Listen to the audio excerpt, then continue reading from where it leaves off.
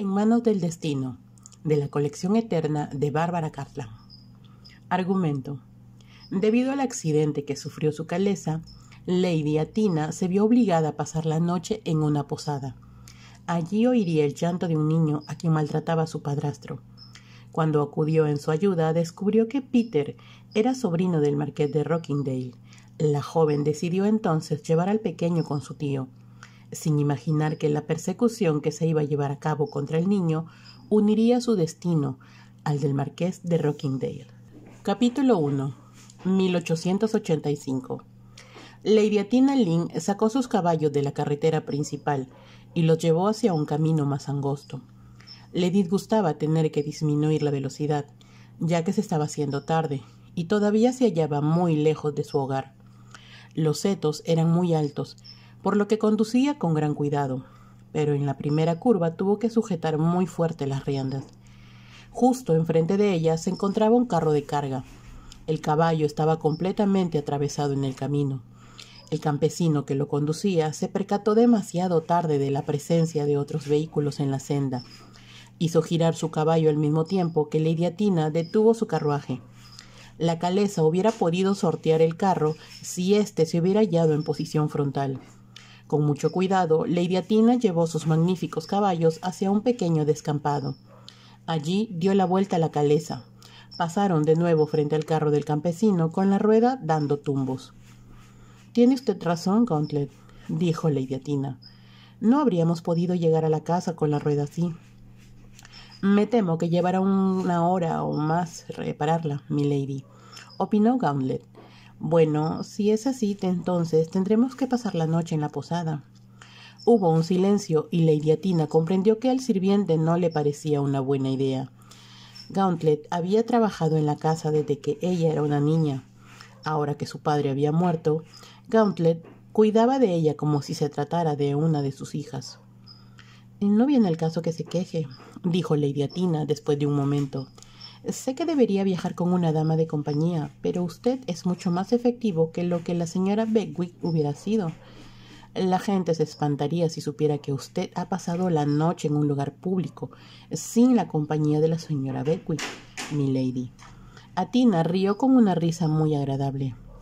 Hablas como si yo perteneciera a la realeza, Gauntlet. Séla solo por una noche, y si crees que eso pueda provocar un escándalo, no utilizaré mi propio nombre. Hizo una pausa antes de añadir. Yo seré la señora Beckwith. ¿Por qué no?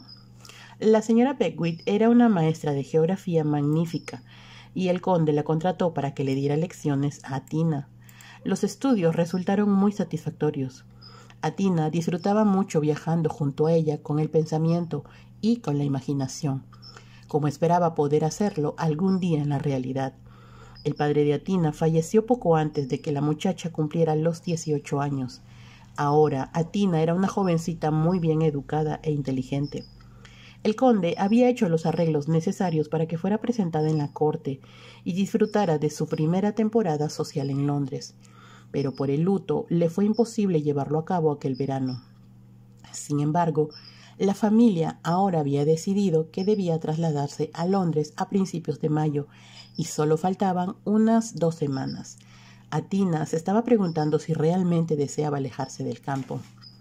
Me encanta estar aquí cuando todo está lleno de flores, le había dicho a la señora Beckwith. No puedo creer que Londres pueda resultar más atractivo. Usted sabe tan bien como yo, le respondió la señora Beckwith, que es necesario que conozca a algunos jóvenes, que baile toda la noche en las fiestas y que cumple el sueño de su padre de ser la más bella de la temporada. Atina se rió. Papá quería que lo fuera porque eso supondría un halago para su vanidad. Él siempre se comportó como si él me hubiera creado maravillosa. Y por supuesto que así fue, dijo la señora Beckwith con una sonrisa. Eh, si él estuviera aquí y ahora yo lo felicitaría. Atina se rió una vez más. Tengo la sensación de que tanto papá como usted me van a, van se van a sentir desilusionados, comentó. Lo que va a suceder es que los jóvenes que me conozcan me mirarán como a una campesina y me evitarán como a la peste. La señora Begwit inclinó la cabeza y contempló a su alumna. Yo también he pensado en eso algunas veces, indicó. Pero, Atina, usted ha de ser lo suficientemente inteligente como para permitir que el hombre siempre aparente saber más. Atina levantó las manos. Me niego, me niego en rotundo, exclamó. Si ellos dicen alguna estupidez, como solían decirlo algunos de los amigos de papá, a mí me resultará imposible quedarme callada. En cuyo caso tendrá que regresar a casa y conversar con las flores, le advirtió la señora Beckwith. Y por supuesto, con usted, mi querida Becky, añadió a Tina. Me encanta hacerlo, y eso me recuerda que el nuevo libro acerca del universo acaba de llegar y debemos de leerlo esta noche. La biblioteca de Morling Park estaba llena de libros. Atina se mostraba mucho más interesada en ellos que en la ropa que se llevaría a Londres. Hubiera querido alquilar una casa en Mayfair, pero instalarse en ella junto con la señora Beckwith mas toda su familia levantó tal protesta ante aquella idea que tuvo que acceder a quedarse con una de sus tías. La pariente en particular estaba casada con un caballero que ocupaba un alto puesto en el Palacio de Buckingham. Por lo tanto, Atina tendría acceso a todos los eventos que tuvieran lugar en el mismo. La señora Beckwith accedió a quedarse en el campo y Atina sabía que la iba a echar de menos. En cualquier caso, todavía tenía dudas respecto a lo que se encontraría en el mundo social londinense. ¿Cómo podía aquello compararse con la satisfacción de poseer las mejores caballerizas del país? También disponía de los caballos de su padre en Newmarket, y mientras estuvo de luto le fue imposible asistir a las carreras. La reina Victoria había impuesto los lutos muy largos y de negro cuando perdió a su querido Alberto. Por tal razón, Atina no tuvo más remedio que confinarse en Morlin Park, pero aquello no le molestó lo más mínimo. Extrañaba ciertamente a su padre. No obstante, la señora Beckwith era una acompañante divertida y encantadora. A menudo Atina pensaba que los caballos suponían una compensación por la falta de jóvenes con quienes conversar. Se veía magnífica cuando montaba algún ejemplar brioso. Tenía rizos dorados con un toque de rojo, sus ojos grises eran muy especiales. Sin duda alguna, su belleza la hacía muy diferente a todas las muchachas de su edad. La señora Beckwith sabía que era por tal causa por lo que se la bautizó con el nombre de Atina, el de la diosa griega. Me pregunto qué iba a ser de ella. Se dijo la señora Beckwith mientras Atina se alejaba por el camino. Su silueta de sílfide quedaba recortada contra la oscuridad de los árboles. La forma en que montaba la hacía pensar en Diana. Ahora, Atina, una vez en la posada, condujo los caballos con un a un gran patio. Observó varios carruajes de diferentes tipos en un extremo. Ello quería decir que sus propietarios se encontraban en el interior. No se olvide que soy la señorita Beckwith. Le recordó a Tina a Gauntlet. Cuando detuvo los caballos, Gauntlet abrió la puerta de la caleza. Atina se bajó de la misma y cuando un empleado llegó corriendo a recibirla, la muchacha le dijo Tenemos necesidad de un herrero, ya que una de nuestras ruedas resultó dañada en un accidente. Espero que lo haya aquí. Estaba hasta hace unos minutos, expuso el empleado de la posada. Mm, por favor, hágalo buscar de inmediato, indicó a Tina. El empleado se alejó y la muchacha le sonrió a Gauntlet. Acto seguido se dirigió a la entrada de la posada. Encontró al propietario en el vestíbulo, quien al observar a la recién llegada se inclinó con amabilidad. Eh, ¿Puedo ayudarla, señora? preguntó. Una de las ruedas de mi calesa se halla averiada, respondió a Tina. Espero que su herrero pueda arreglarla, pero como se está haciendo tarde, tendré que pasar aquí la noche. Em, Puedo darle alojamiento, señora, dijo el propietario. Me gustaría su mejor habitación, sugirió a Tina, mi equipaje está en la parte trasera de mi caleza. También necesito una habitación para mi sirviente.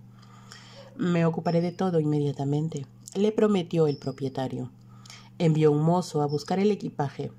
Luego llamó a una doncella para que la condujera al piso alto. Las escaleras eran de roble y estaban sin alfombrar, pero muy bien pulidas. La habitación a la que la destinaron se hallaba correctamente amueblada, aunque por supuesto no era lujosa. Suponiendo que no había nada mejor, le dijo a la doncella que la tomaría por aquella noche. ¿Está usted ocupada en estos momentos? Le preguntó a Tina, a la mujer, mientras esperaban que se subiera el equipaje. Eh, tenemos algunos caballeros que regresan de las carreras, señora, pero por lo demás la casa está muy tranquila. El mozo apareció con el pequeño baúl de Atina, que era todo cuanto ésta había llevado para pasar la noche en la casa de su tía. Una vez deshecho el equipaje, la muchacha se cambió de vestido. Cuando terminó de lavarse ya había oscurecido. Como era una noche sin luna, decidió definitivamente que habría sido imposible regresar a casa por aquellos caminos tan estrechos. Estoy mucho más segura aquí, se dijo, pero también sabía que la señora Peckwitt la estaba esperando y, sin duda alguna, se sentiría preocupada cuando viera que no llegaba a la hora indicada. Saldremos inmediatamente después del desayuno. Se propuso la muchacha. Llegaremos a casa antes de la comida. Le pidió a la doncella que la despertara a las ocho. Le dio las gracias por ayudarla a cambiarse de ropa y se encaminó hacia la planta baja. El comedor era amplio y su techo era de vigas, al igual que el del vestíbulo. Ardía la leña en la chimenea. Habían tenido una primavera mala y aunque los días comenzaban a mejorar, por las noches todavía hacía frío. El propietario se encontraba esperándola al pie de la escalera. Le he reservado una mesa, señora, informó. Está cerca del fuego y espero que le guste la cena. Estoy segura de que así será. Sonrió a Tina. Se había acordado de ponerse un anillo en el dedo anular de la mano izquierda, se trataba de un anillo muy bonito con tres diamantes que había pertenecido a su madre. Situando los diamantes hacia abajo, parecía un auténtico anillo de bodas. El propietario la condujo hasta la mesa que le mencionara.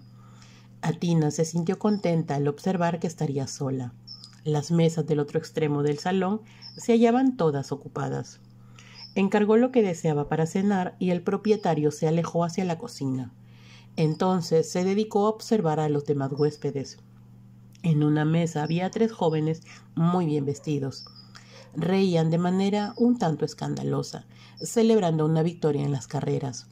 Otras dos mesas estaban ocupadas por algunos visitantes de comercio. Había también una pareja de edad.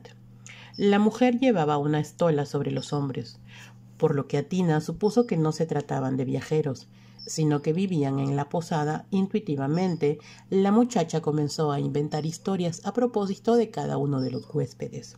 Al otro lado de la chimenea, descubrió un huésped que, sin lugar a dudas, era un caballero.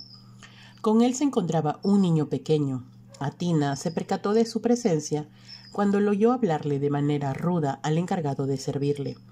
Aparentemente, éste le había llevado una botella de vino que no era la que él había solicitado. El caballero le estaba echando en cara su ineficacia. Atina pensó que se mostraba muy desagradable y suponía que se trataba de un bebedor empedernido. Al niño le calculó unos seis años. Tenía los cabellos rubios y parecía muy delicado.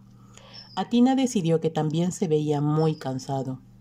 Se preguntó a dónde irían y cuál sería su parentesco. La cena le fue servida y Atina empezó a comer. Mientras lo hacía, oyó al caballero quejándose de la comida y vio que devolvía un plato porque la carne no estaba cortada a su gusto. Pensó que su padre no habría estado de acuerdo con aquel hombre. Me desagradan los hombres que gritan a los que les sirven, había comentado en más de una ocasión. Él nunca le habría gritado a sus sirvientes. Si los reprendía lo hacía de una manera sutil y tranquila, que era mucho más efectiva que si les vociferaba. El caballero, que obviamente había encargado una cena muy vasta, todavía se estaba quejando cuando Atina terminó la suya. En cualquier caso, y aunque la comida no se trataba de una cosa del otro mundo, en general era aceptable y estaba bien cocinada. También le habían servido sin tener que esperar mucho. Le dio las gracias al propietario y éste le dijo Fue un placer servirle, señora. Atina sonrió y salió del comedor. Al llegar junto a las escaleras todavía podía escuchar la voz del caballero. El portero se le acercó para decirle Su sirviente me encargó que le dijera a usted, señora, que la rueda de su caleza ya ha sido reparada. Eh, gracias, sonrió a Tina. Una vez en su habitación se desvistió y se sintió cansada. Oír a su tía repetir una, una y otra vez las cosas que siempre decía resultaba agotador también. Habían viajado durante muchas horas. Debo dormir, se dijo a Tina.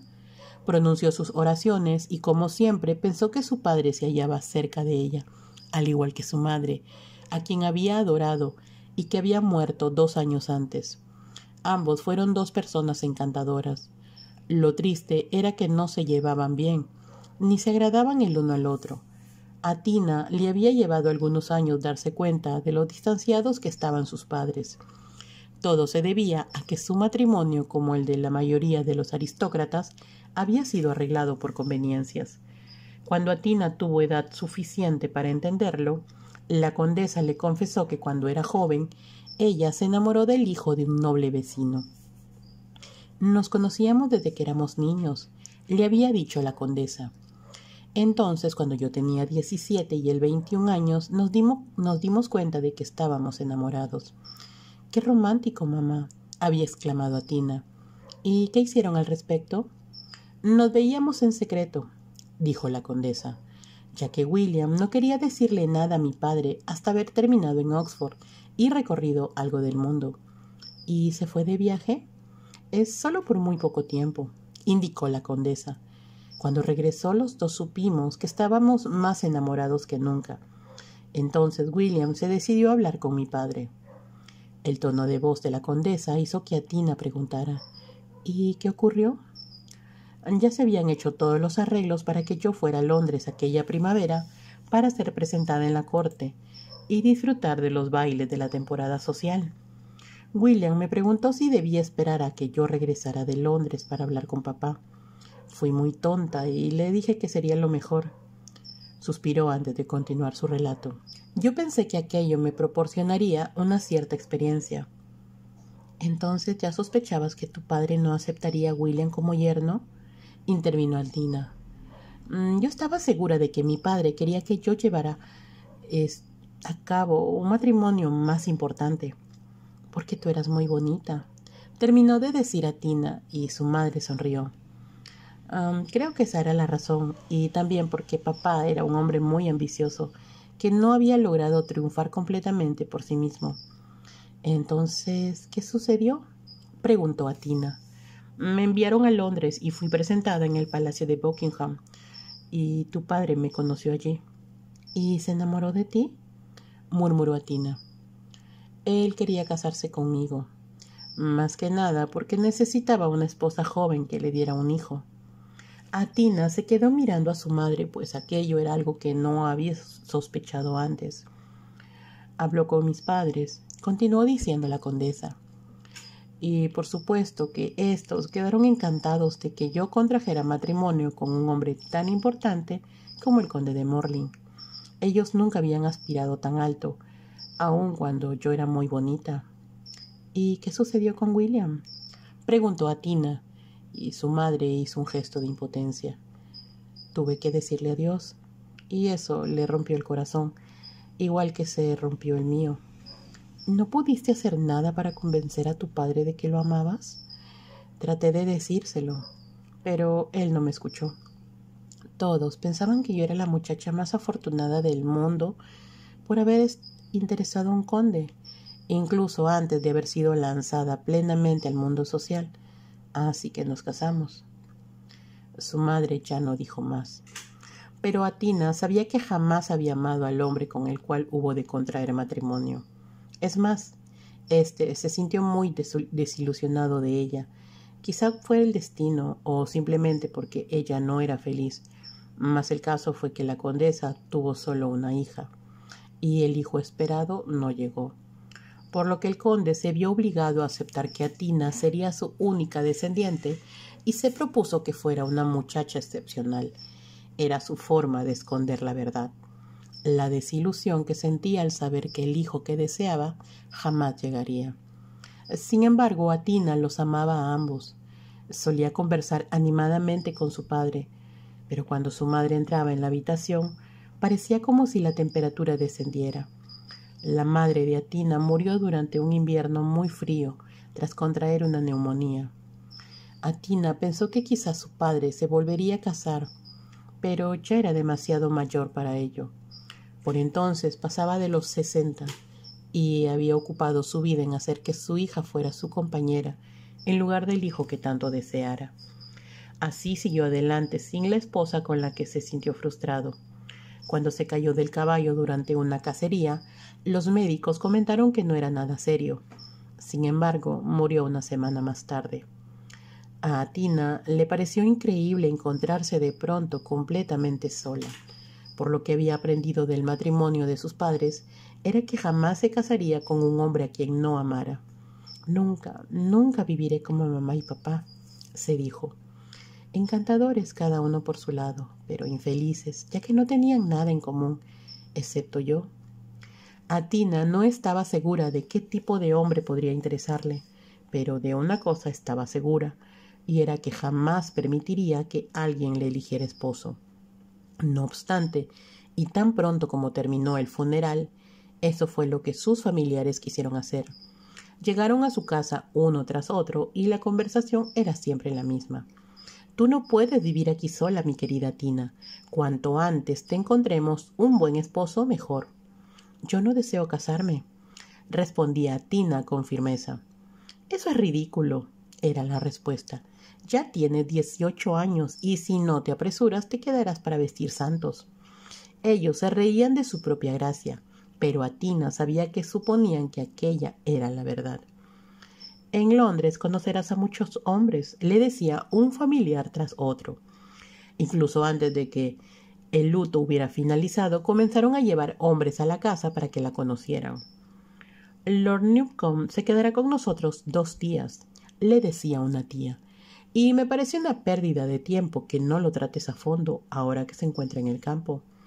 O si no, el pretexto era yo sé que Sir Wallowit le encantaría ver los caballos de tu padre. Llévalo a las caballerizas, Tina querida, mientras yo me quedo aquí, frente al fuego.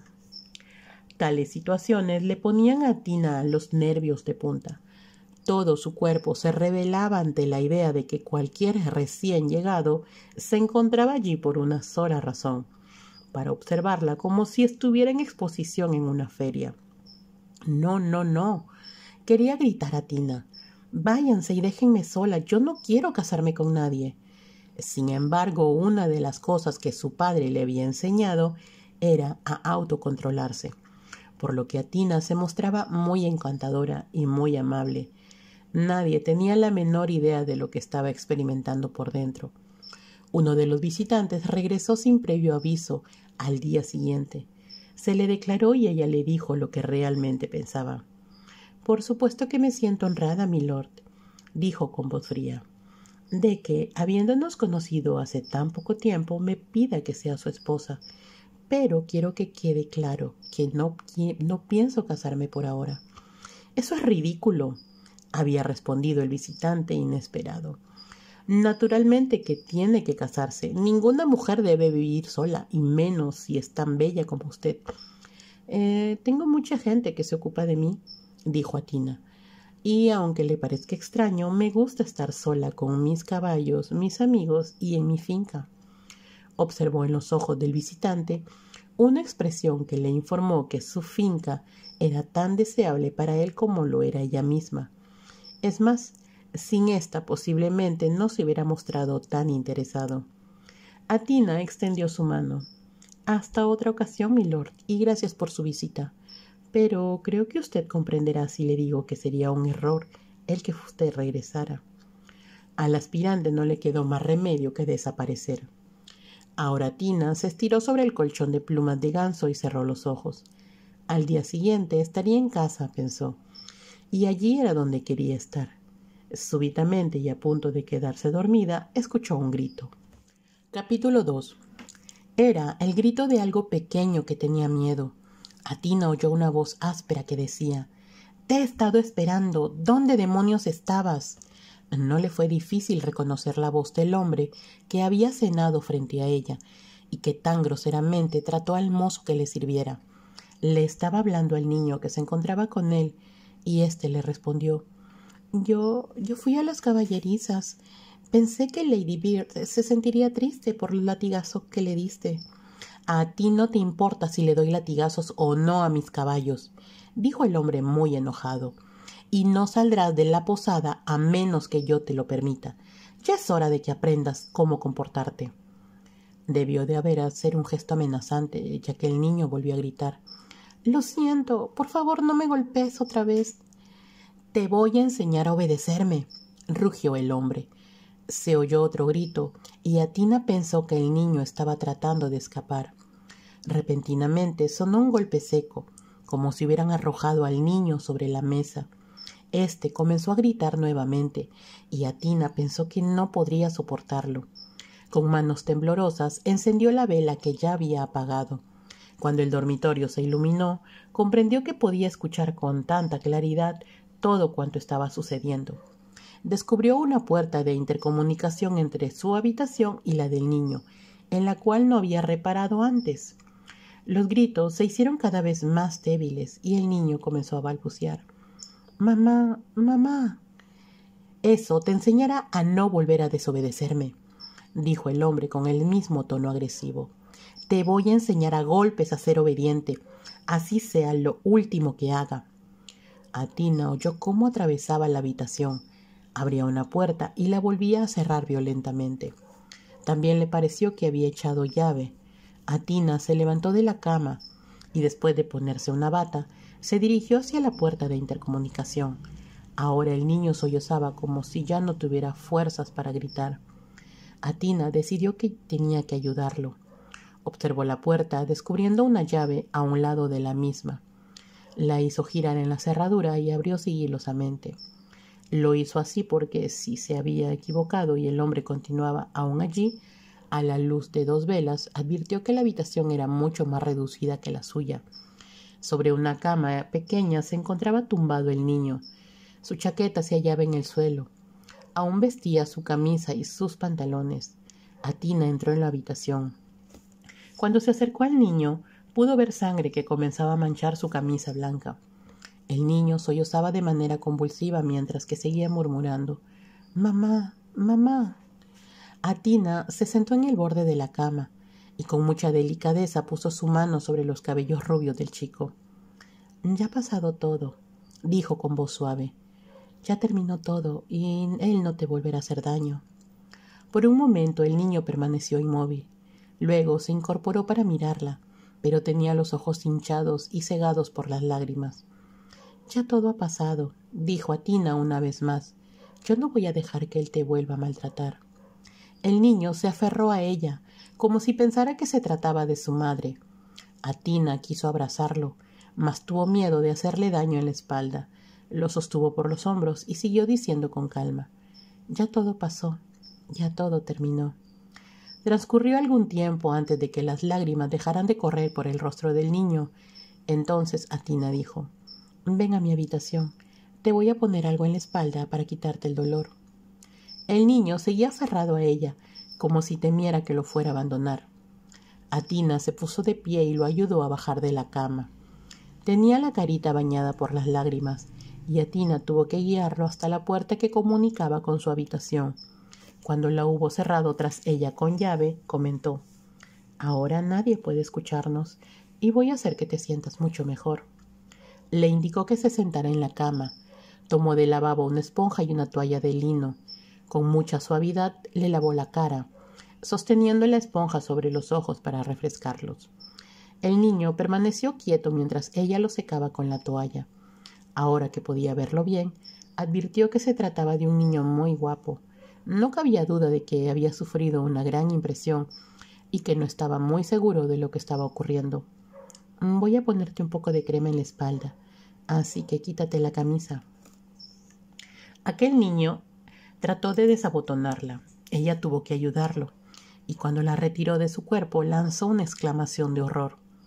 Toda la espalda estaba cubierta de verdugones, provocados por el látigo que el hombre había utilizado.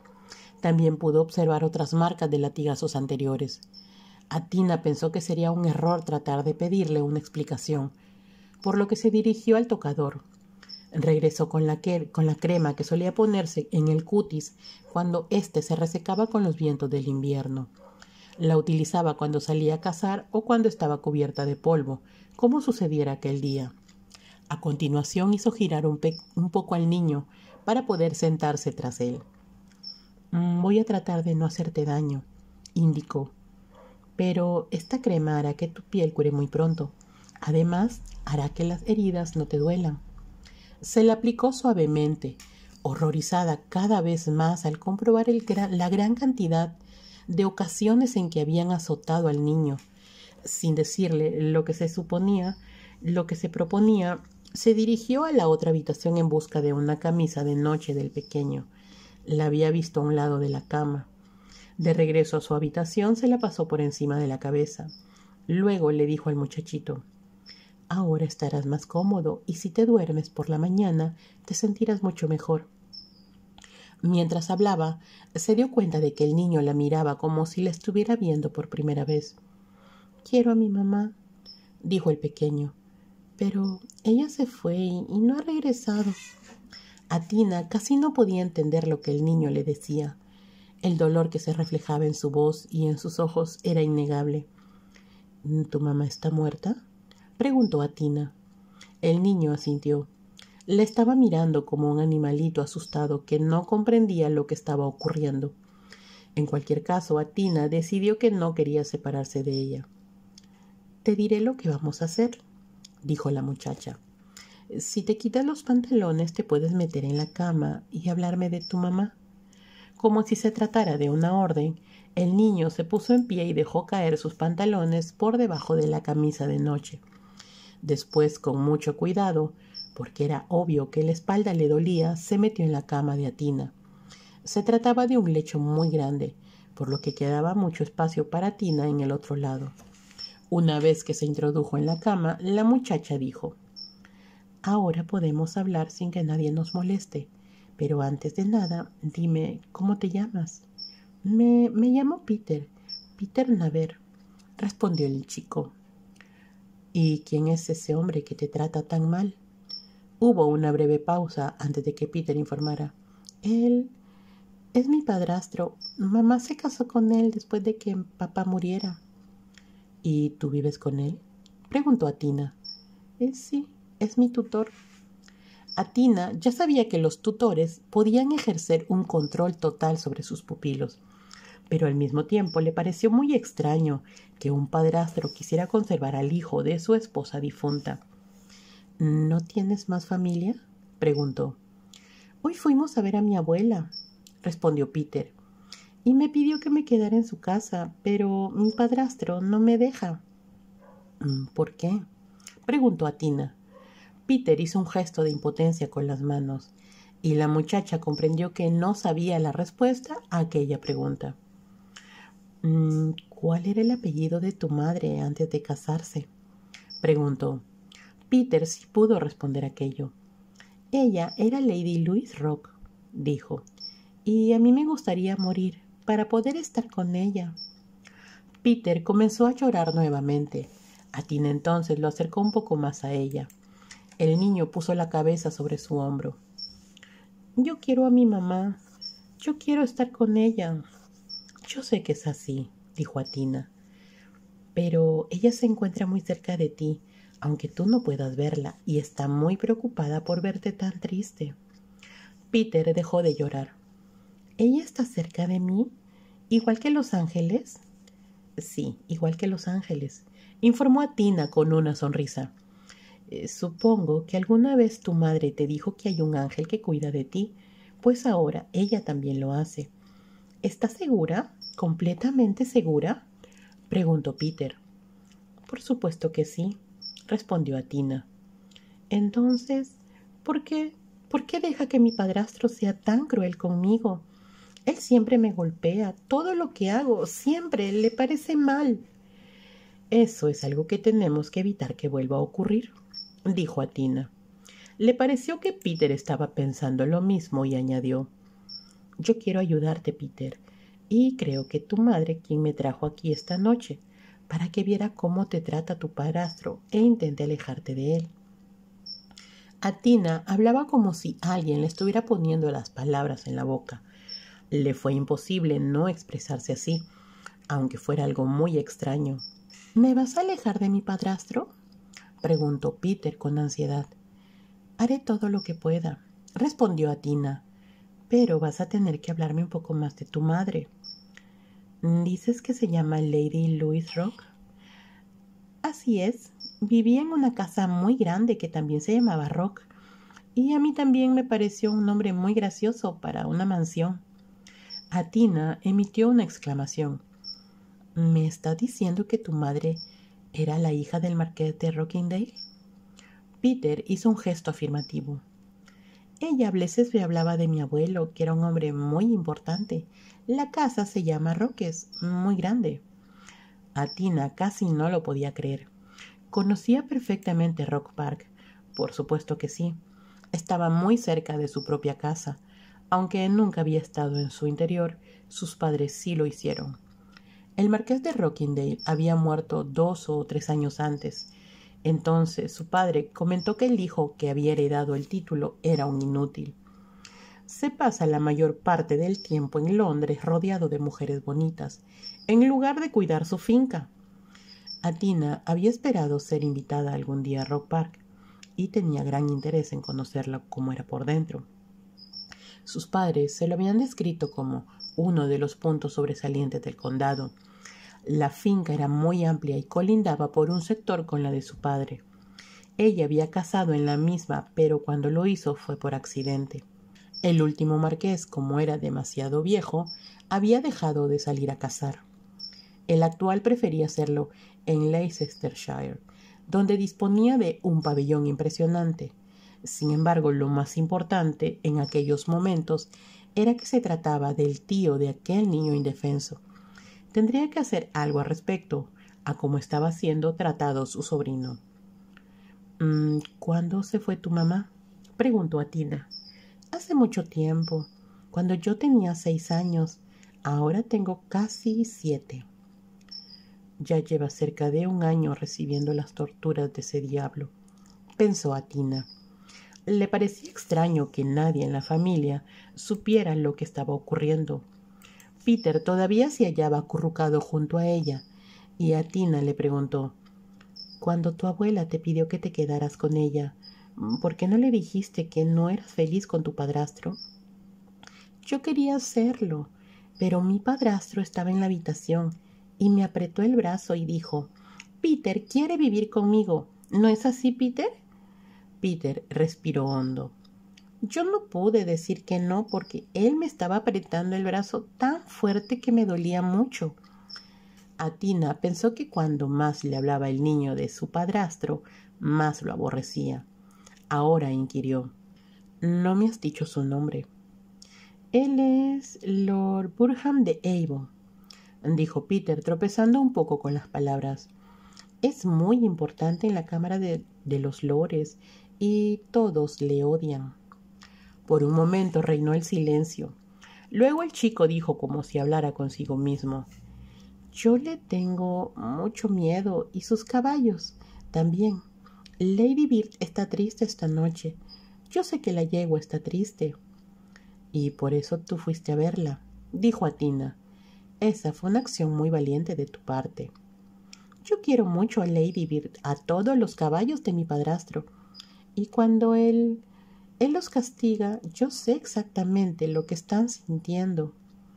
Mientras hablaba, hizo un pequeño movimiento como si la espalda le doliera. A Tina ya había escuchado suficiente. Estaba decidida a que Lord Burham no, hubiera no pudiera seguir torturando a su hijastro. Con mucha delicadeza puso la cabeza de Peter sobre la almohada junto a ella. Ahora duérmete. Por la mañana vamos a hacer algo muy emocionante y no quiero que estés cansado. Estoy cansado ahora. Fue un viaje muy largo. El polvo me secó la garganta, pero mi padrastro no me dejó tomar agua. Atina pensó que si escuchaba una cosa más acerca de Lord Burham, lo iba a matar con sus propias manos. Sabía que habría de ser muy hábil para poder proteger a Peter. Le dio un beso en la mejilla y el niño le rodeó el cuello con sus bracitos. Tú eres como mamá, igual que mamá. Entonces duérmete y sueña con ella. Y recuerda que ella está aquí junto a ti cuidándote y que me ha dicho que te ayude a escapar. ¿De mi padrastro? De tu padrastro, confirmó Atina. Aquello era un juramento más que una promesa. El niño estaba tan agotado que se durmió de inmediato. Atina apagó la vela y se quedó pensando en qué podía hacer. Se daba cuenta de que iba a ser muy difícil sacar a Peter de la posada sin tener un enfrentamiento con Lord Burham. Así que decidió despertarse a las cinco de la mañana cuando los sirvientes estuvieran trabajando. Su padre, que había servido en el ejército, le instruyó en cómo despertar a la hora que quisiera. Se trata de un asunto de autodominio, le había dicho, y de informarle a tu subconsciente que lleve a efecto tus deseos. A la edad de doce años, para Tina, aquello constituyó un reto, pero pronto pudo despertar a la hora que quería, tal como lo hacía su padre. Ahora realizó un esfuerzo para relajarse. Ya había planeado en su mente cómo iba a sacar a Peter de la posada sin que Lord Burham lo advirtiera. También elevó una plegaria muy especial, no solo a Dios, sino también a la padre del niño, para que su plan tuviera éxito. Tengo que salvar a su hijo de esa bestia, pero va a tener que ayudarme. Quizá no sea fácil, pero estoy segura de que su hermano hará algo al respecto cuando sepa lo que está ocurriendo. Esperó tener razón. Se quedó dormida pensando que Lady Louise había respondido a sus oraciones. Ni Peter ni ella se movieron hasta las cinco. Atina se despertó y por un momento no supo dónde estaba. Mas al descubrir la cabecita rubia sobre la almohada junto a ella, recordó todo lo ocurrido la noche anterior. Se levantó cuidadosamente para no despertar a Peter y abrió la puerta que daba al pasillo. Tal y como lo había esperado, pudo oír algunos ruidos procedentes del piso de abajo. Las sirvientas ya estaban limpiando el vestíbulo y el comedor. Esperó a que alguna de ellas pasara junto al pie de las escaleras y levantando un poco la voz dijo Buenos días. La doncella levantó la mirada. Eh, soy la señora Beckwith, le explicó a Tina. ¿Quiere ser tan amable de informarle a mi criado eh, que deseo tener la caleza listro, lista dentro de media hora? Yo se lo diré, señora, respondió la sirvienta. Atina regresó a su habitación y comenzó a vestirse. Luego metió todas las cosas en el baúl. Entró en la habitación de Peter y recogió, y recogió su chaqueta que todavía estaba en el suelo. Observó que disponía de una maleta de cuero donde estaban sus demás pertenencias. Supuso que Lord Burham habría realizado el viaje con su ayuda de cámara y que éste también atendería a Peter. Sabía que aquello podía ser peligroso ya que posiblemente se levantaría mucho antes que su amo. Regresó a su habitación y cerró con llave la puerta de intercomunicación entre las dos piezas. Entonces despertó a Peter que se sentó frotándose los ojos. Yo estaba soñando que mamá estaba conmigo, Atina lo besó asintiendo. Sí, estaba contigo. Ahora, escucha. Si vamos a escapar, tienes que vestirte muy deprisa. Después yo te diré lo que haremos. ¿Puedo irme contigo? preguntó Peter. Eso es exactamente lo que vas a hacer, respondió Atina. Pero tienes que darte prisa. Peter saltó de la cama y comenzó a ponerse la ropa. Lo hizo tan rápidamente que Atina dedujo que estaba acostumbrado a vestirse solo. Lo único que ella tuvo que hacer fue atarle los cordones de los zapatos. Para entonces ya eran las cinco y media. Atina sabía que si Gauntlet había recibido su mensaje ya estaría esperándola. Lo importante ahora era que Peter pasara por el vestíbulo hasta el patio. Ahora escúchame, Peter, le dijo. Quiero que bajes al igual que lo hiciste anoche cuando fuiste a ver a Lady Bird. ¿Voy a verla ahora mismo? No, no debes hacerlo, porque el palafrenero de tu padrastro podría verte. Peter pareció comprender y ella continuó. Sal por la puerta del patio y corre hasta la entrada. ¿La entrada por la que llegamos ayer? Sí, la misma. Luego da la vuelta a la derecha. ¿Sabes cuál es tu derecha? Peter extendió su mano para mostrar que lo sabía. Muy bien. Entonces da la vuelta a la derecha y camina a lo largo del camino, pero no corras. Sigue andando y yo te alcanzaré con la caleza en cuanto pueda. Entonces, ¿voy a viajar contigo? preguntó Peter. Esa es la idea. No hables con nadie. Haz exactamente lo que te he dicho. Es muy importante que nadie te vea. Anoche nadie me vio, pero entonces estaba oscuro y, aunque todavía es muy temprano, la gente ya está levantada. Peter asintió con la cabeza y a Tina le sonrió. Entonces en marcha, y sigue andando por el camino. Peter salió de la habitación. A Tina esperó algún tiempo hasta que calculó que ya estaba fuera de la posada, antes de dirigirse hacia la planta baja. Un sirviente en mangas de camisa estaba recogiendo unas jarras de cerveza vacías. Eh, ¿Sería usted tan amable de bajar las dos piezas de equipaje que hay en mi habitación? Le preguntó a Tina. El empleado la miró sorprendido por lo temprano de la hora. Pero como ella le habló con un cierto tono de autoridad, respondió eh, Sí, señora. Y subió las escaleras. A Tina se dirigió a la recepción y se alegró de no encontrar allí al propietario. La atendió otro hombre que parecía ser el contable. Atina pagó la cuenta, dejando una propina para la servidumbre. Acto seguido, se apresuró a salir al patio. Sintió un gran alivio al ver que a Gauntlet, con la caleza ya dispuesta. Buenos días, Gauntlet. Eh, temía que no hubiera recibido mi mensaje. Buenos días, señorita. Me sorprende que mi lady quisiera salir tan temprano. Atina guardó silencio estaba ocupada subiéndose al asiento del conductor y tomando las riendas. En ese momento, el sirviente que había subido por su equipaje salió de la casa portando su pequeño baúl y la maleta de Peter. De inmediato, antes de que Gauntlet pudiera decir algo acerca de esta, le indicó Esa maleta también es mía. Suba las dos. Gauntlet hizo lo que se le ordenaba y a Tina le entregó una moneda para que se la diera al sirviente. Era una propina muy generosa, pero Atina esperaba que el hombre no la mencionara cuando se descubriera la desaparición de Peter. Gauntlet se colocó junto a ella y se pusieron en marcha. Cuando salieron al camino, Atina hizo girar los caballos hacia la derecha. Miró hacia adelante, mas no vio señales de Peter. Por un momento sintió que el corazón se le detenía. ¿Qué habría ocurrido? ¿Lo habría detenido la ayuda de cámara de su señoría? ¿O habría entendido mal sus instrucciones? Cuando los caballos avanzaron un poco más, lo vio salir de entre unos arbustos. Atina suspiró aliviada. Aquello le hizo darse cuenta de lo mucho que el niño empezaba a significar para ella. La noche anterior había decidido que estaba dispuesta a hacer cualquier cosa para liberarle de la crueldad bestial de Lord Burham. Una vez más, hubieron de entrar en el camino en el que habían colisionado con la carreta el día anterior. Pasaron sin más problemas. Cada minuto que transcurría los acercaba más al momento en que se descubriría la ausencia de Peter. Lord Burham mandaría su ayuda de cámara o iría personalmente a la habitación del niño y la encontraría vacía. Como había cerrado con llave la puerta que daba al pasillo, inmediatamente se daría cuenta de que el niño salió por la de intercomunicación. Para poner las cosas más difíciles, a Tina la había cerrado por la parte de su habitación. Luego introdujo la llave en uno de los cajones del tocador, así ellos dispondrían de más tiempo hasta que la encontraran.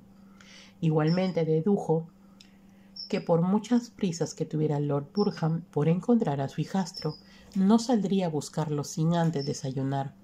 Atina estaba segura de que Lord Burham era un hombre ciertamente astuto, por lo que cuando se convenciera de que el niño no estaba en la posada ni en las caballerizas, imaginaría que alguien lo había ayudado a escapar.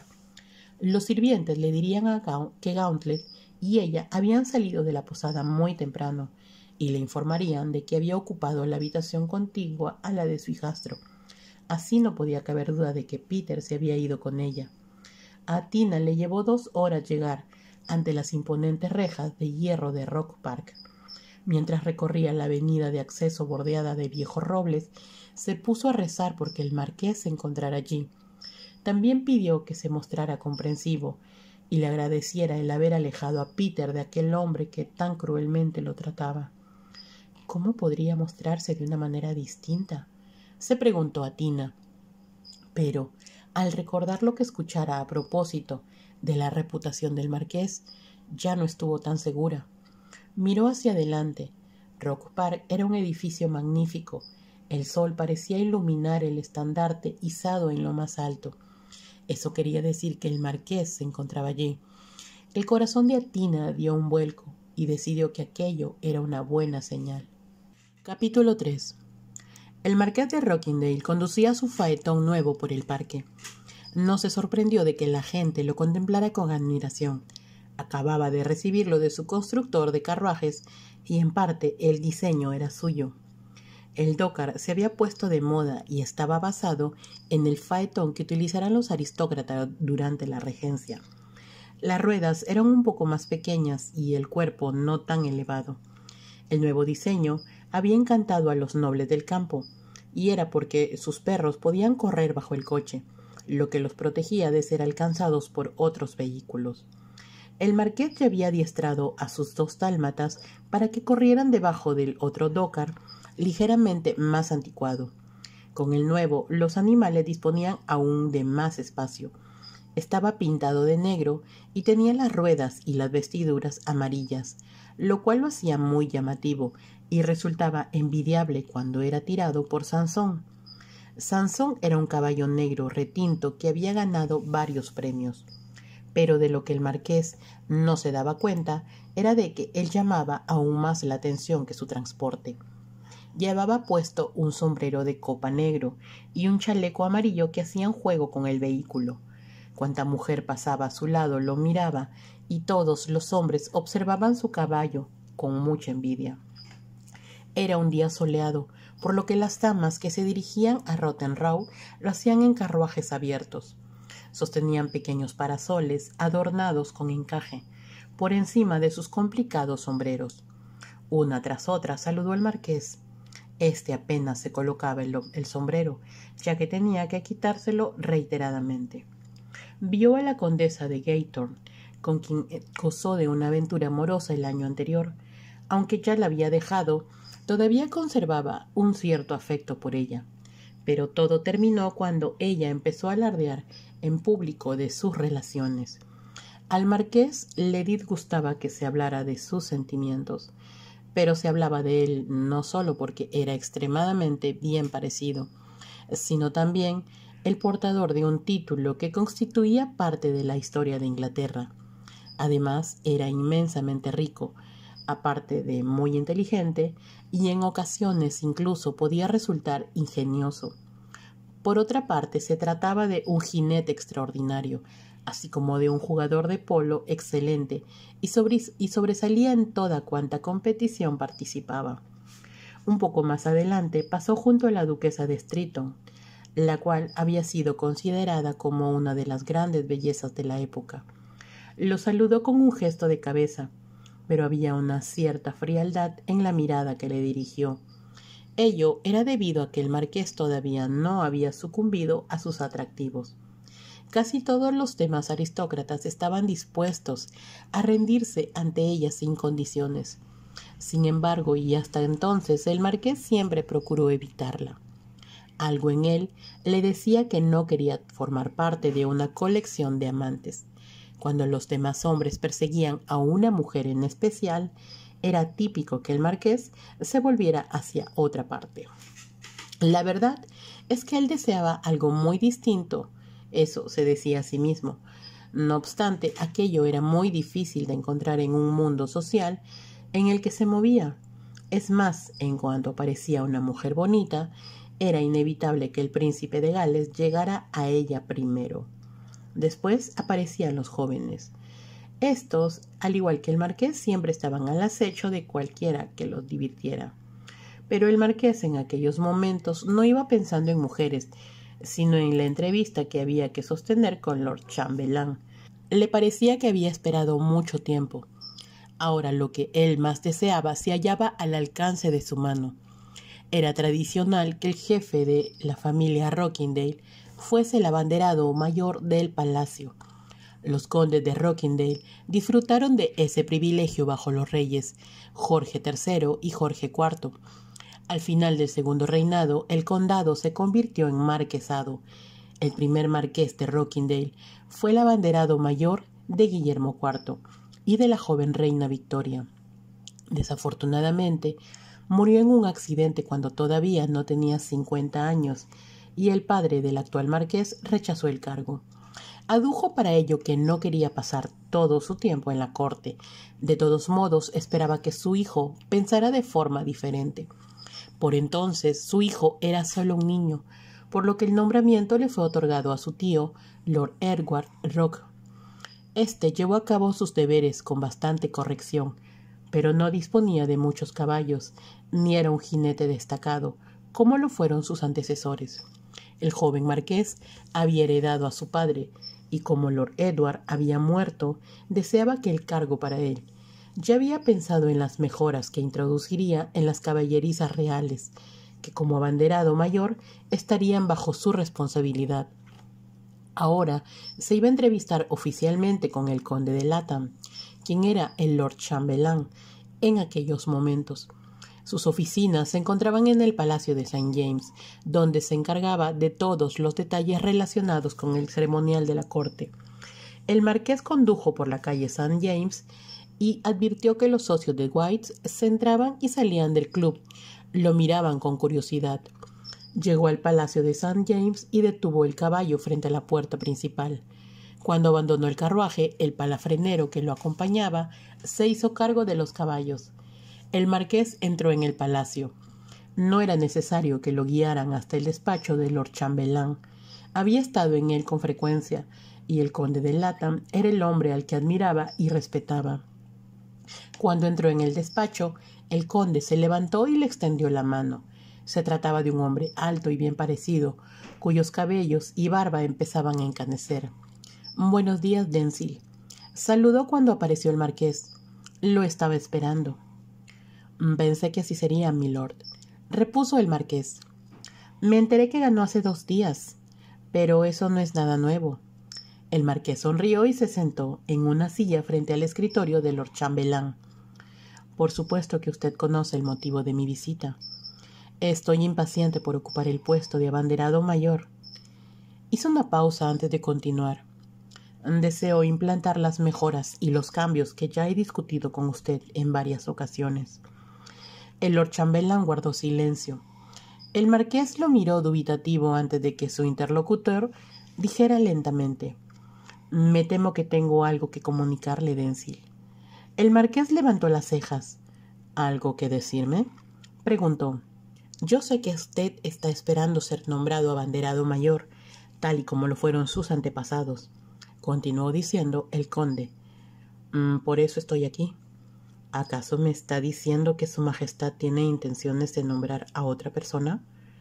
En su voz había un tono de incredulidad, y el conde dijo No es tan grave como eso. Entonces, ¿de qué se trata? preguntó el marqués. Seguramente que Su Majestad comprende que, aunque fue un error de mi padre el rechazar tal puesto, después se arrepintió. Suspiró antes de proseguir. Como usted sabe, él no se encontraba bien de salud por entonces, puesto que se había lastimado la espalda al caer de un caballo durante una cacería. Sintió que la responsabilidad era demasiado para él, así que ésta recayó en su hermano, que no era un jinete destacado. Soy consciente de eso, asintió Lord Chambelán, y Su Majestad comprende que usted tiene todo el derecho a sentir que el cargo debe ser suyo. Es más, Está decidida a otorgarle el nombramiento, pero con una condición. ¿Una condición? repitió el marqués. ¿Y cuál es? Una vez más, el Lord Chambelán hizo una pausa. Tenía mucho aprecio por el marqués, a quien conocía desde que era un niño. Como consecuencia, aquella entrevista se estaba haciendo muy incómoda. Se hizo un nuevo silencio antes de que el Lord Chambelán dijera eh, su Majestad está dispuesto a nombrarlo a usted abanderado mayor, pero considera muy importante que usted se case antes, o por lo menos que se comprometa en matrimonio. Cuando terminó de hablar, el marqués se quedó mirándolo como si no pudiera creer lo que acababa de oír. ¿Casarme? dijo por fin. ¿Y he de casarme solo para dar una satisfacción a la reina? Pero mientras hablaba supo cuál era la respuesta. El marqués esperaba que ya se hubiera olvidado lo ocurrido dos años atrás en Windsor. Él había sido invitado a un baile que se ofrecía en honor a una visita real. La invitación no le entusiasmó, ciertamente, pues sabía que el protocolo en Windsor podía resultar extremadamente aburrido. Prefería estar con sus amigos en Londres o en su casa en el campo. Sin embargo, era algo que no podía rechazar. De modo que se presentó con su ayuda de cámaras, su mozo y un par de caballos que tiraban de su carruaje. Sabía que sus caballos eran superiores a todos los que ocupaban las caballerizas reales. La reina, a quien le agradaban los hombres atractivos, lo recibió con mayor afecto que a la mayoría de los otros invitados. Tuvo lugar la audiencia de costumbre, en la cual a nadie se le permitía sentarse. A continuación, una cena interminable en la que todos hablaban en voz baja. Después tuvo lugar el baile, que resultó bastante monótono. Los invitados bailaron al son de una orquesta que al marqués le pareció muy pobre. Se sentía aburrido, muy aburrido. De pronto descubrió que una de las damas de honor de la reina era insinuantemente atractiva. Lady Medmore eh, se trataba de la segunda esposa de uno de los caballeros de armas. Este se había casado con ella porque necesitaba un heredero. El marqués bailó con ella dos veces más de lo que la reina consideraba como adecuado. Incluso le sugirió que le daría las buenas noches más tarde. Lady Medmore Hizo un gesto negativo. Es demasiado peligroso, murmuró. Quien nada arriesga, nada gana, replicó el marqués. Ella rió de manera provocativa y una vez más el marqués pensó que era muy bonita y muy deseable. Dígame dónde duerme usted, insistió. Jamás podría encontrarme, respondió ella. Estamos encerradas y como nuestros aposentos parecen una madriguera de conejos, puede perderse y si no tiene cuidado puede terminar en la habitación de Su Majestad. Los dos rieron ante aquella idea. Por fin el marqués convenció a Lady Menmore de que se encontrara con él en un pasillo que estaba situado entre las habitaciones de ambos. Él entonces la llevaría a la suya. Tiene usted razón. Este lugar es como una madriguera de conejos y no debemos correr el riesgo de perdernos. Ella lo escuchaba con los ojos muy abiertos y el marqués continuó. Muchas veces me han contado el caso de un embajador que como no pudo dar con su habitación tuvo que dormir en un sofá y al día siguiente fue acusado de estar demasiado borracho como para poder encontrar el camino. Lady Medmore también conocía aquella historia, pero de todas formas rió de manera muy atractiva.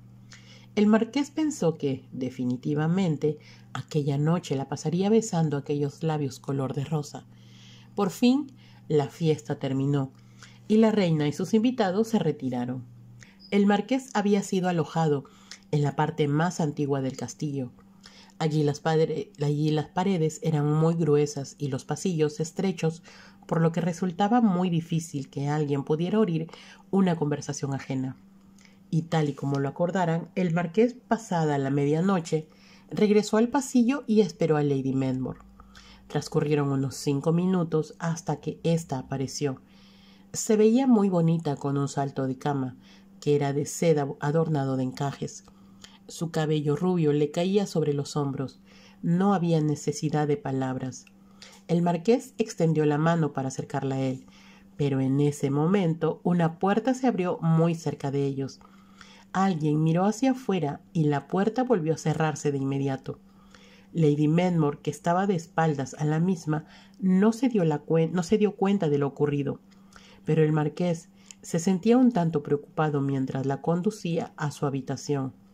Sabía muy bien cómo el chisme podía recorrer el castillo igual que si fuera un viento del norte.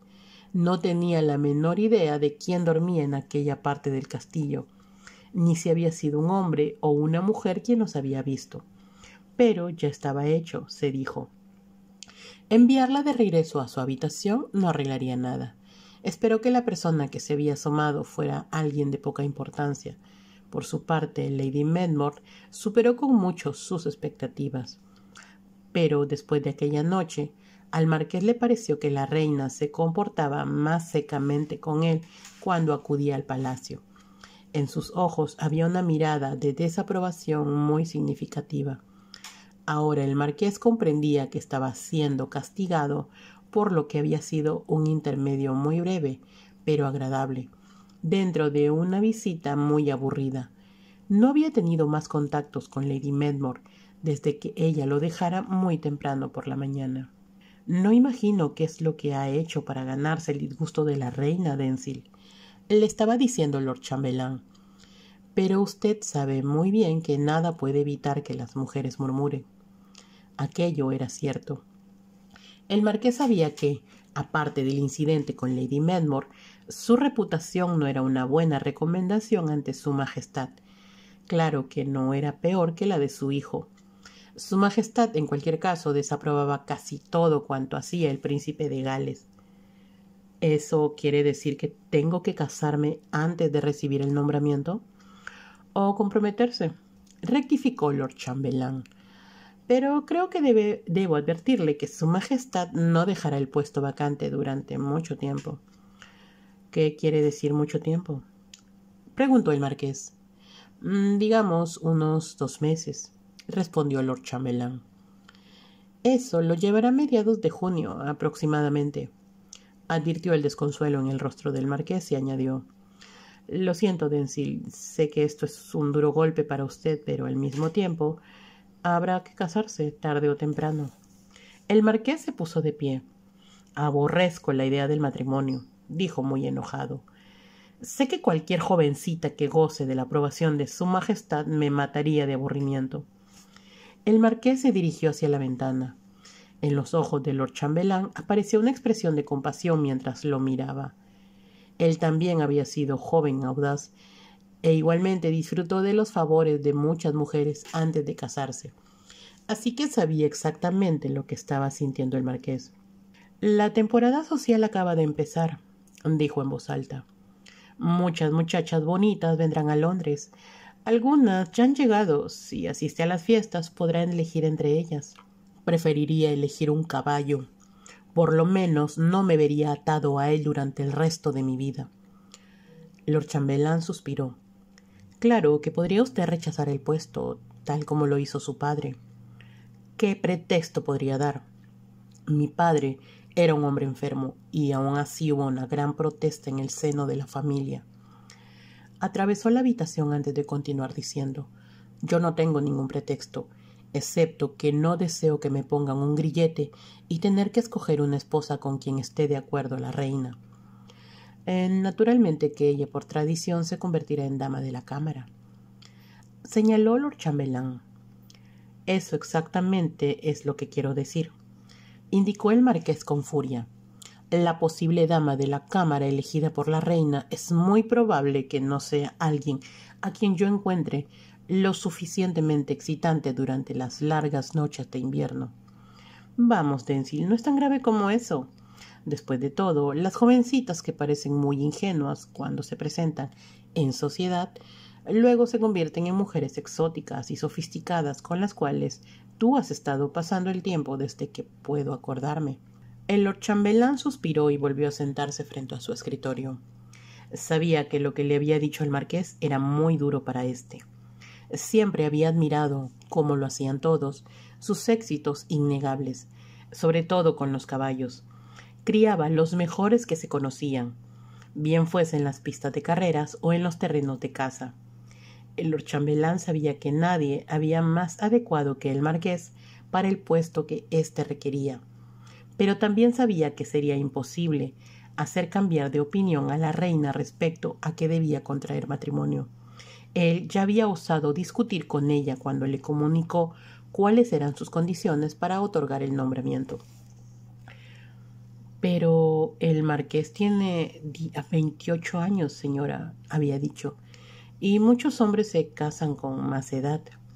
Soy consciente de ello, Lord Chambelán, replicó la reina, pero el marqués necesita la influencia estabilizadora de una esposa, y eso es algo que ciertamente le falta en estos momentos. El lord chambelán no tenía la menor idea de lo ocurrido en palacio, ni por qué su majestad había tomado aquella actitud, pero sabía que era inútil discutir con ella. Por lo tanto, hizo una reverencia y abandonó la estancia deseando que fuera otra persona quien le tuviera que dar la noticia al marqués. El marqués sintió cómo la rabia aumentaba dentro de su pecho mientras se alejaba del palacio de St. James. ¿Cómo se atrevía la reina a interferir en su vida? ¿Cómo se atrevía a decidir que se casara cuando él no tenía deseo de hacer a ninguna mujer su esposa? Claro que, tal como le dijera el Lord Chambelán, él podía rechazar el puesto, pero hacerlo inevitablemente provocaría muchos comentarios. Todo el mundo se preguntaría qué habría hecho para desagradar a la reina, y toda la familia lo tornaría como una ofensa personal. Demasiado tarde deseó poder dar, dar marcha atrás al reloj. Quiso no haber intentado aliviar su aburrimiento persiguiendo a la bella Lady Menmore, pero lo hecho, hecho estaba, y ahora había que pagar las consecuencias. Tenía que encontrar una esposa, y solo contaba con dos meses para hacerlo. Mientras conducía por la calle St. James con la mirada al frente, ignoró el saludo de alguno de sus amigos. También hizo caso omiso de la sonrisa invitadora de una dama cuando pasó junto a su carruaje abierto. Cuando llegó a la casa Rock en Park Lane, decidió que necesitaba tiempo para pensar. Sabía que en su estudio lo esperaba el inevitable montón de invitaciones. Por lo general solía aceptar dos o tres de las mismas. Su secretario se encargaba de rechazar las demás. Ahora se dijo con desesperación que para conocer al tipo de dama que más le convenía, tendría que asistir a todos los bailes. Allí lo estarían esperando las debutantes. En las fiestas a las que él solía asistir, no lo hacían madres que especulaban acerca de cuál de sus compañeros de baile de sus hijas sería el marido aconsejable. No. Las fiestas a las que él asistía eran exclusivamente para mujeres casadas. El marqués no recordaba haber conocido a una debutante jamás, en alguna ocasión las había visto sentadas junto a sus damas de compañía. Observaban a todos los hombres que se les acercaban, esperando que algunos las salcara a bailar. A buen seguro son de pies muy pesados e incapaces de decir una palabra inteligente, pensaba el marqués. Tomó la, la campanilla de oro que estaba sobre su escritorio y la hizo sonar fuertemente. Cuando un criado abrió la puerta, el marqués le dijo haga venir al señor Barrat. Cuando su secretario llegó corriendo, el marqués le comunicó Me voy al campo, Barrat. Cancele todos mis compromisos para los próximos dos o tres días e informe a quien pregunte que tuve que salir de Londres por un asunto urgente de familia. Y esa era la verdad, pensó con enojo. Un asunto que involucraba el tomar una esposa y, a la larga, procrear una familia que él no deseaba. Después de una comida rápida durante la cual casi no pudo ingerir nada, el marqués salió de la casa. Cuando se subió al carruaje de viaje, los sirvientes lo despidieron con una, con una reverencia. Sus palafreneros intercambiaron miradas al verle conducir los caballos más velozmente de lo que jamás lo había hecho, aunque con similar pericia que de costumbre. Llegó a Rock en un tiempo récord por primera vez desde que heredara el título, no sintió ninguna emoción cuando entró por la avenida de acceso. Ni la belleza del gran edificio le hizo latir con más fuerza el corazón. La razón por la cual el marqués pasaba mucho de su tiempo en Londres no era exclusivamente por las mujeres atractivas que allí abundaban. Era también porque cada vez que se le hacía más difícil aceptar la forma en que se administraba la finca de su padre. El marqués había servido dos años en el ejército después de salir de Oxford. Entonces pensó que su padre tal vez le pediría que se ocupara de administrar la finca. Esperaba que le permitiera introducir algunas innovaciones que él consideraba esenciales.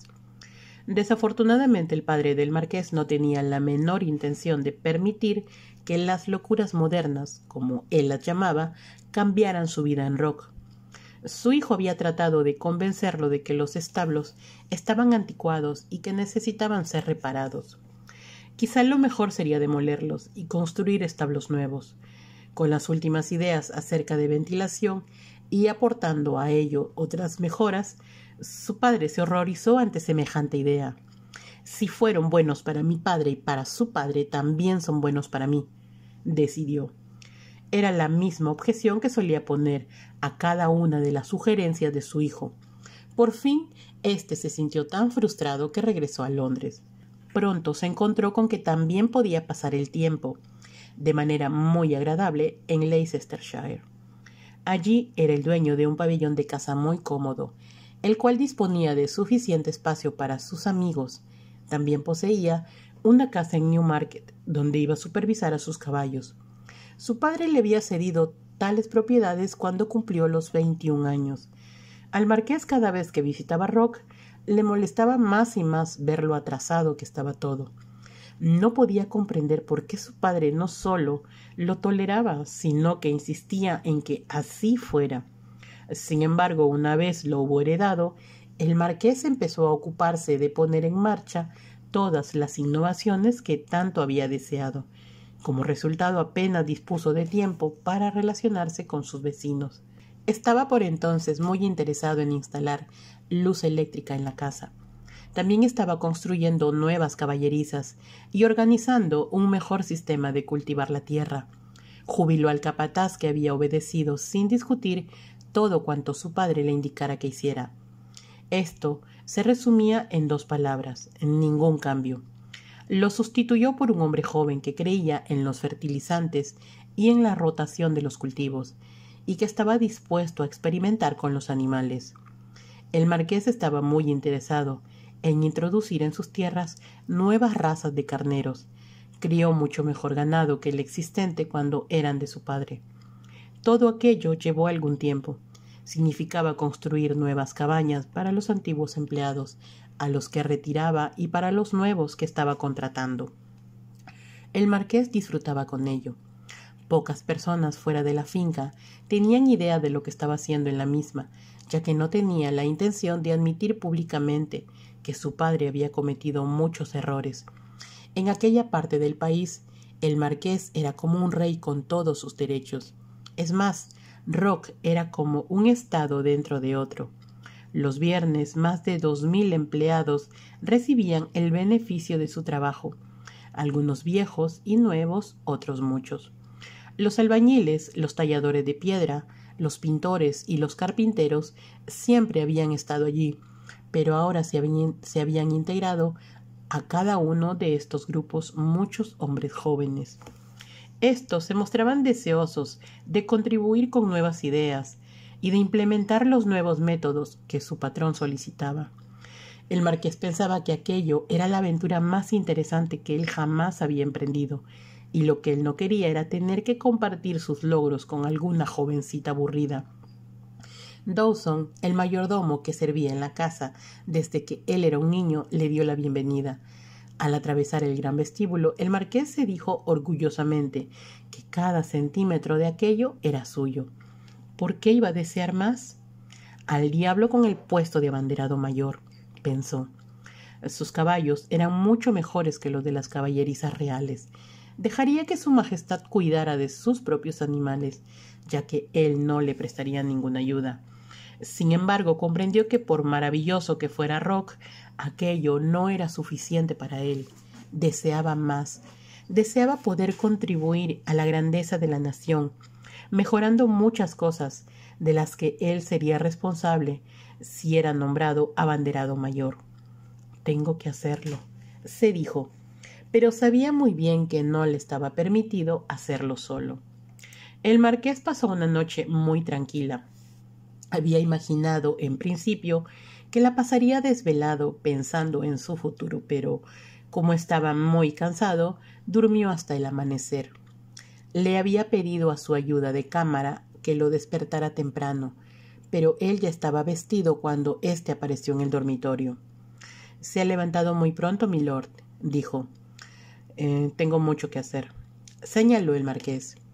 Pero la cosa más importante que tenía que hacer, se dijo, era algo sobre lo que no quería ni pensar. El ayuda de cámara imaginó que el marqués desearía desayunar antes que de costumbre. De inmediato envió a un criado para que avisara al cocinero. Cuando el marqués entró en el desayunador ya lo estaban esperando seis platos diferentes sobre el aparador. Dawson apareció con la cafetera de plata. Conocía al marqués lo suficiente como para darse cuenta de que algo andaba mal, por lo que decidió que sería un error hablar mucho. Ciertamente no debería hacer preguntas. Dejó la cafetera delante del marqués que estaba sentado a la cabecera de la mesa y salió del desayunador. El desayuno era la única comida en la cual los criados no servían la mesa. Se trataba de una de las pocas tradiciones que el marqués prefirió no cambiar. Prefería servirse él mismo, poder leer el periódico sin tener gente moviéndose a su alrededor y haciendo preguntas.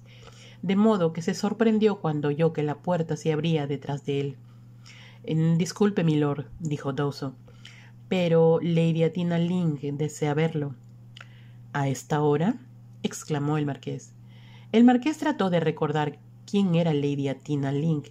El nombre le parecía familiar, mas por el momento no sabía de quién se trataba.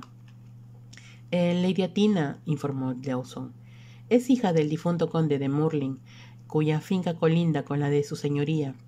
Oh, sí, por supuesto, exclamó el marqués. Mi lady se disculpa por molestarlo tan temprano, milord, pero dice que se trata de un asunto muy importante.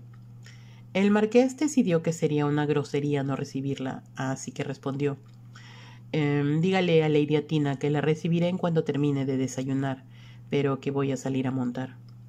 Informaré a mi lady, repuso Dawson. El mayordomo salió de la habitación mientras el marqués se servía otra taza de café.